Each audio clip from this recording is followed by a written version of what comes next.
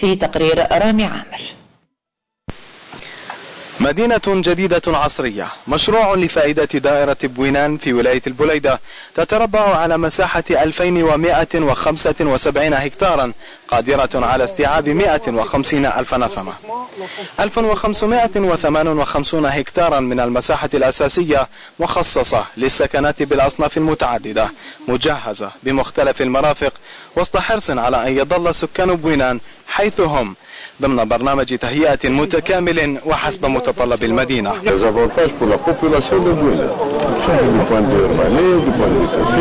Quels sont les ajouts à amener sur le plan social, quels sont les ajouts à amener le, le, le bâti نتاعهم.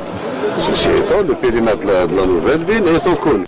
عمروسة إذا موقع الخطوة الأولى عبر مراحل بمساحة 617 هكتارا تنطلق أشغالها الثلث الأول العام القادم ب 32 ألف سكن مختلف الأصناف باختيار وصفه الوزيران بالبراغماتي إحنا جينا الأرض اللي ما تطرح حتى مشكل هي حرة من كل ملكي من كل ملكية ننطلق فيها. بالنسبة لنا لازم نبداو في بنايه هذه المدينة الجديدة مدينة تاع التكنولوجيا مدينة تاع الرياضة ومدينة اللي عندها منطقة صناعية تاع 80 هكتار أيضا.